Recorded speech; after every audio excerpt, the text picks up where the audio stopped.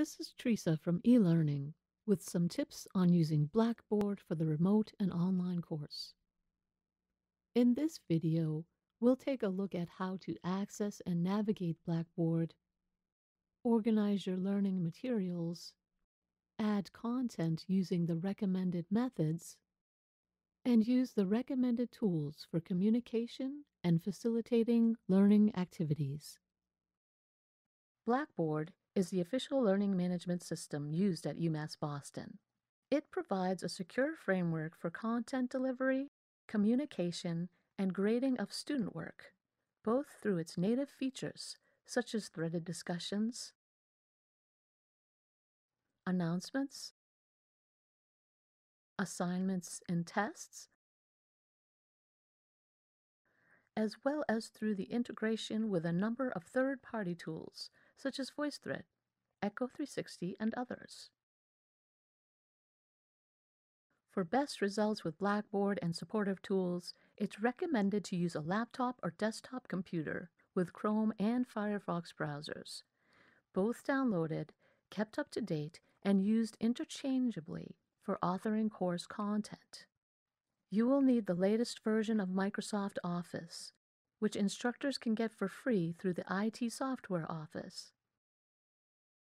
You can access Blackboard directly by going to umb.umassonline.net with your UMass Boston credentials, the same username and password as your UMass Boston email account.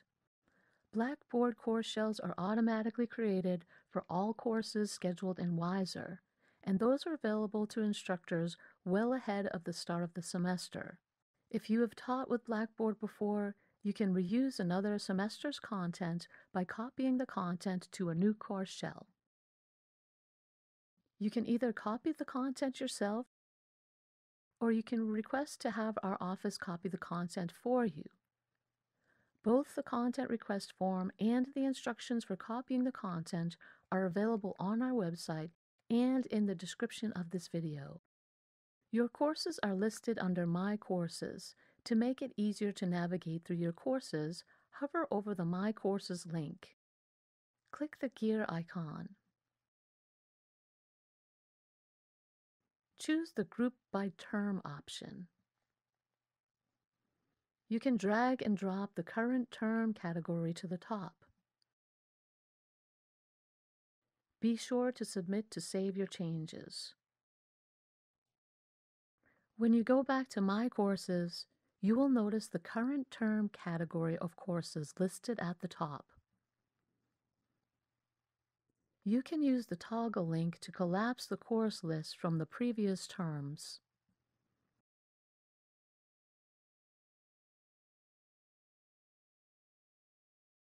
Once you enter a course, you will use the course menu to navigate through the content areas of the course set up learning materials, and use the communication tools.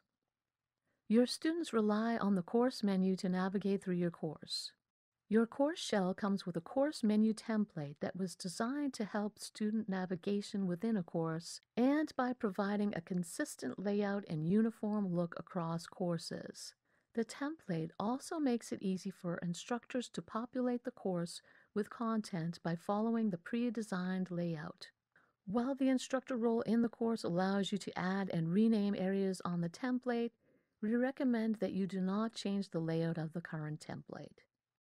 You will also use the course management area below the course menu to access a set of tools available only to the instructor that enable accessing student work for grading, copying content, and setting up groups. Please note that the course menu collapses on small screens or resized browser windows. When that happens, hover over the left-hand side area and click the arrow that appears to retrieve the course menu.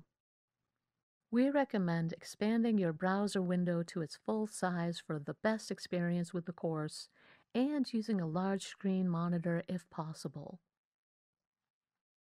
The home link is the landing page for the course.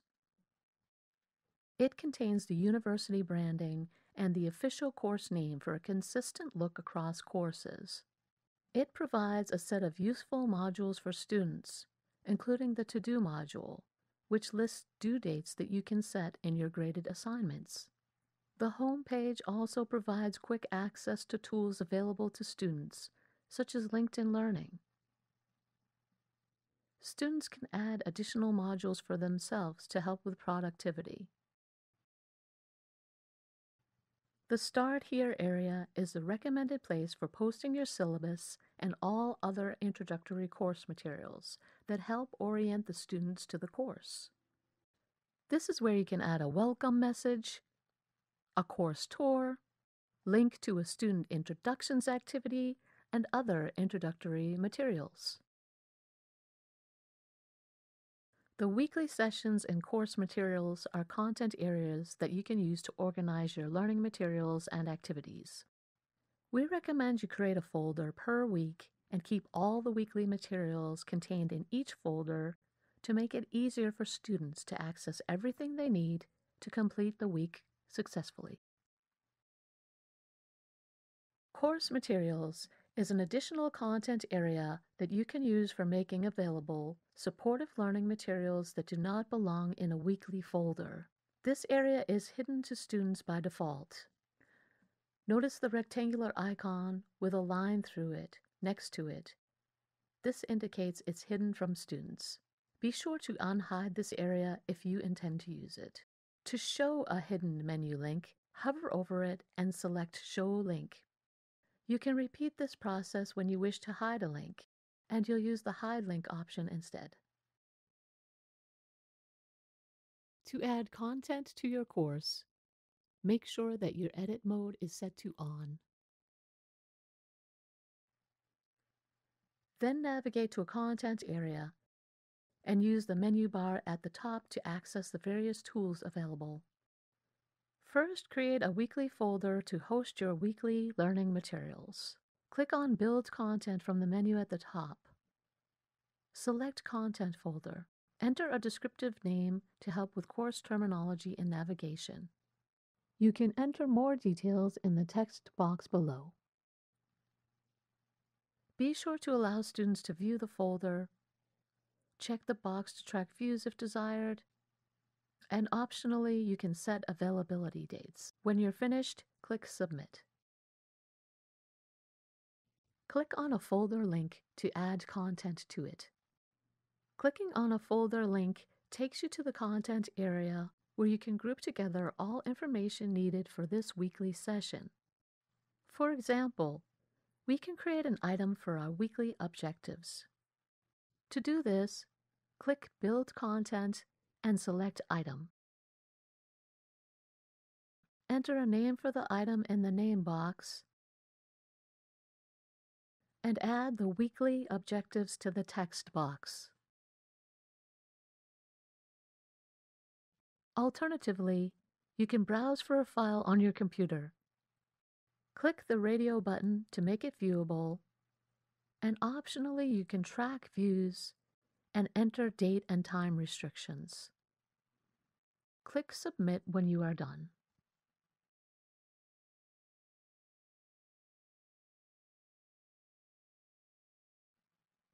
To edit an item, hover over the item name and click on the drop-down arrow that appears. Select Edit, make the necessary changes, and click Submit. To reorganize content in a content area, hover over the item to move and click and drag it to the new location. My Grades is the area that lists student grades and instructor comments to the learning activities that you set up in your course. My Grades is populated through the columns in the Grade Center. It is important to hide Grade Center columns that you are not using and list the columns in chronological order to help students locate their grades and instructor comments. Students will access your instructor comments through a text bubble that appears next to a score. Announcements, links to announcements. Announcements is used to address the entire class with important information and class updates. Click Create Announcement to create an announcement. Enter a subject and message in the boxes that appear. Select whether the announcement should be date restricted or not. When you're done, click Submit.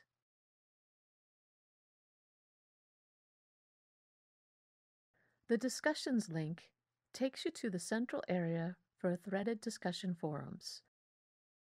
This is where you can create discussion forums related to the weekly course topics.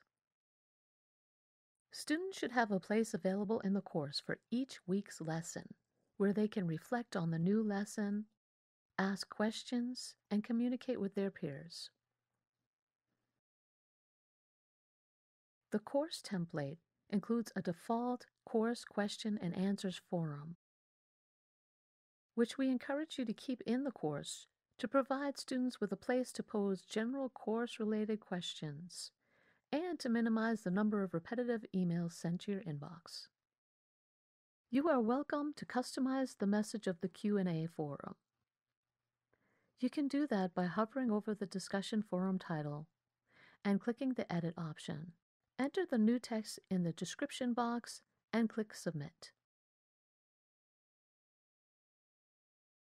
You can create a new discussion forum by clicking the Create Forum at the top of the Discussions page.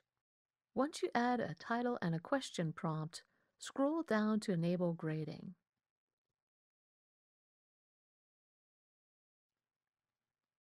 Also make sure to add a due date. The due date will appear to students in the To Do module on the home page and under My Grades, so it's important to set it through this designated option. The subscribe feature available on the forum page will enable you and your students to be notified by email when there are new posts. Make sure to allow subscriptions for your students when you create new forums, and subscribe yourself to receive notifications. You can learn more about discussions through the resource provided in the video description.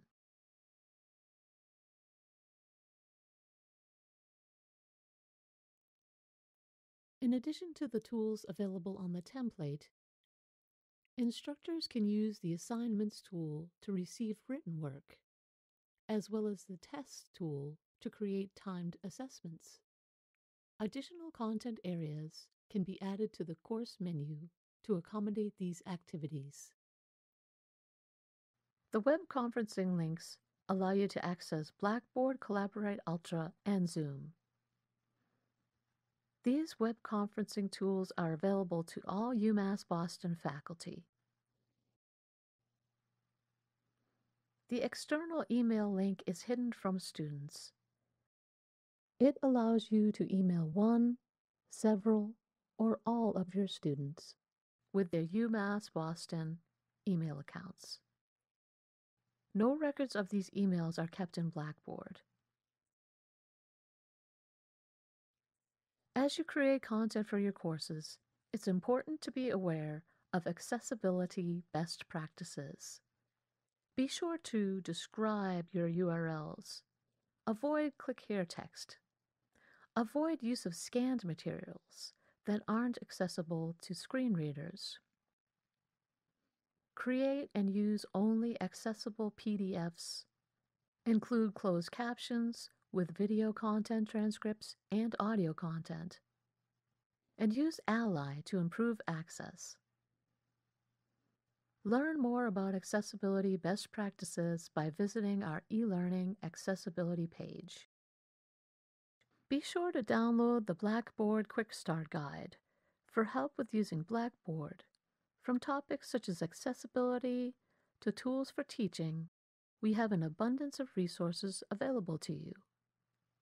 Also on our main e-learning website, you can conveniently book a consult with an instructional designer based on your need and our calendar availabilities.